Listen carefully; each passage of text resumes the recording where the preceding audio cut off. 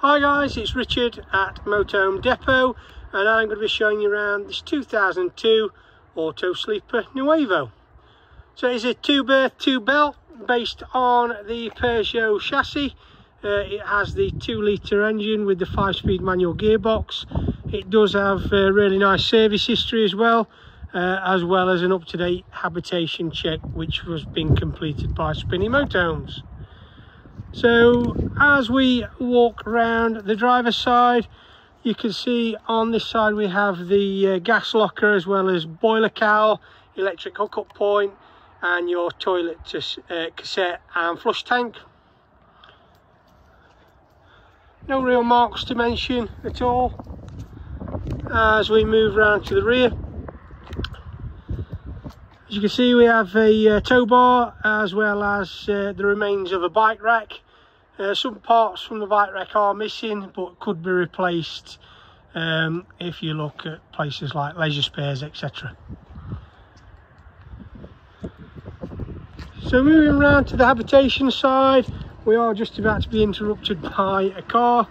Fortunately I am parked at the side of the road uh, but we have the um, fridge vents um, which have the winterization covers on a uh, manual step as well as your fresh water fill point and uh, additional storage uh, locker on this side. It does also have a, a lovely little external light uh, which is a nice feature. Uh, only one real bodywork mark to mention which is just there on the door as we make our way to the inside of the motorhome. So as we enter this lovely motorhome, to the rear we have the kitchen area that consists of the four burner gas hob, grill and oven, as well as the hand wash basin. Uh, there is great storage both below and above. So just to the side also we have the three-way fridge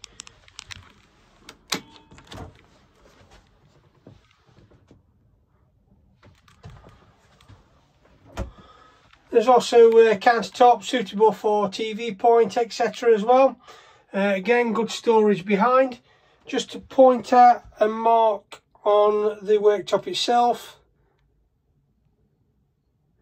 And a couple of the trims have shrunk uh, towards the back as well.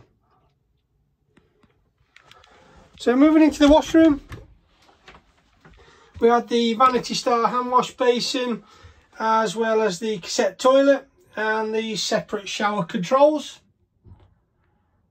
It is a full wet room uh, with good storage both to the side and below the basin.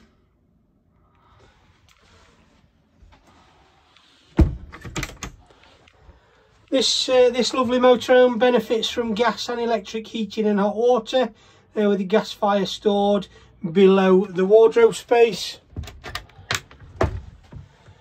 which includes a uh, fold-away freestanding table. So as we make our way forward, we have the two side benches. Uh, these will pull together to create uh, a really good sized double.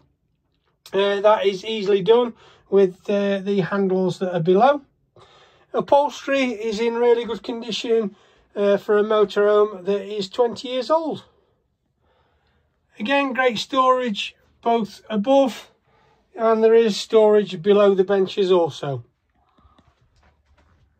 So the driver and passenger seat will swivel if required and this lovely motorhome is based on the uh, 2 litre uh, Peugeot diesel engine with the 5 speed manual gearbox and low miles.